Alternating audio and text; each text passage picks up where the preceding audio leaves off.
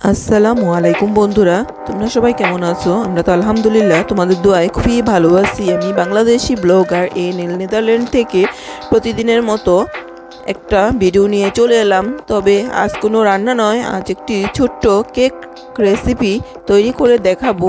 আমি কেকটা তৈরি করব গাজর এবং খেজুর দিয়ে। তাহলে আমি কি কি উপকরণ নিয়েছি সেটাই তোমাদের মাঝে শেয়ার করব। এখানে কিছু খেজুর নিয়েছি নিয়েছি দুইটা ডিম নিয়েছি বেকিং পাউডার। বেকিং পাউডারটা আমি কি পরিমাণে দিব সেটা পরে দেখিয়ে দিব। আর নিয়েছি গাজর, এখান থেকে একটা গাজর আমি নেব। আর নিয়েছি এক কাপ চিনি, নিয়েছি দুই কাপ ময়দা ও রান্না করার তেল।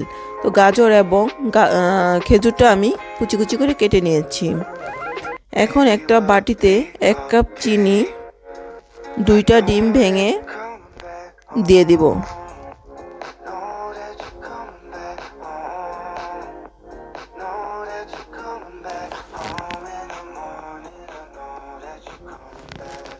এর সাথে দিয়ে দিব এক কাপ পরিমাণ সয়াবিন তেল।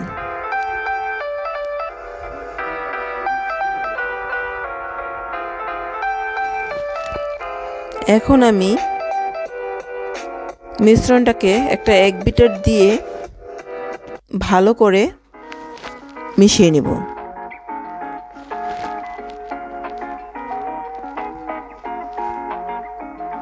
তো আমার মিশ্রণটা মেশানো হয়ে গেছে।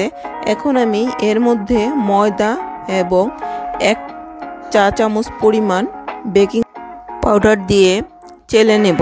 অবশ্যই বেকিং পাউডার এবং ময়দা একসাথে চেলে নিতে হবে।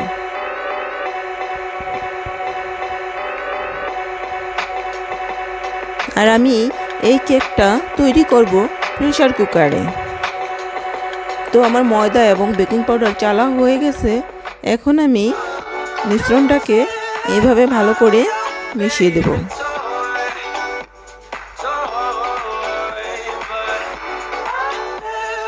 তো আমার মিশ্রণটা মেশানো হয়ে গেছে।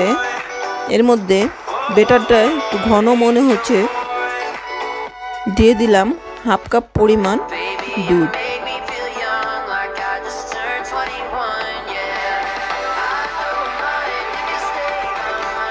ব্যাটারটা এখন ঠিকঠাক পরিমাণে আছে। এখন আমি এর মধ্যে গাজর এবং খেজুরগুলি দিয়ে দিব।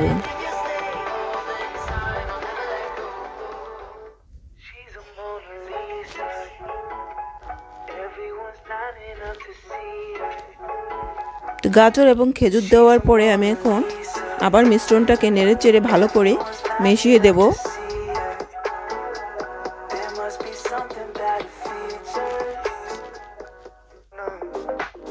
দেখতেই পাচ্ছ, মিশ্রণটা কীরকম হয়েছে।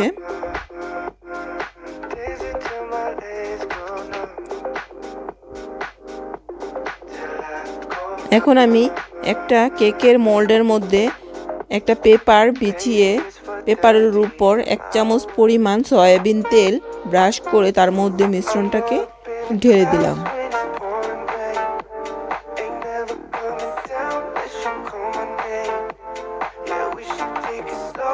তো আমার মিশ্রণটা দেওয়া হয়ে গেছে।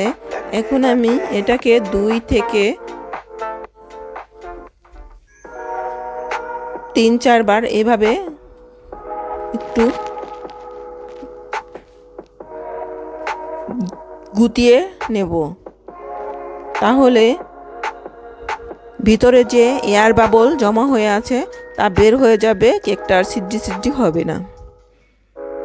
তো আমি এইখানে একটা প্রেশার কুকার বসিয়ে দিয়েছি। প্রেশার কুকারটা যখন গরম হয়ে যাবে, তখন তার মধ্যে কেকের মোলটা এভাবে দিয়ে দিব। সেজন্য আমি অপেক্ষা করতেছি গরম হওয়া পর্যন্ত।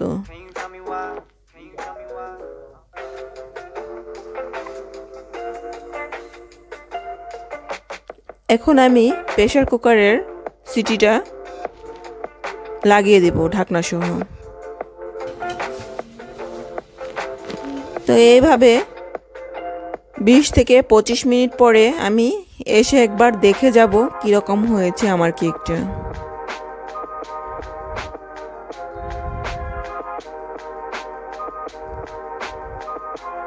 দেখতেই পাচ্ছ, আমার কেকটা কিন্তু খুবই সুন্দর হয়েছে আর খেতেও খুবই মজা হয়েছে।